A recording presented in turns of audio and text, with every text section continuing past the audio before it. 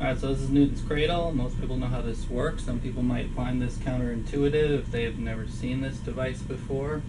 Um, so some people might not expect one ball to go on the other side.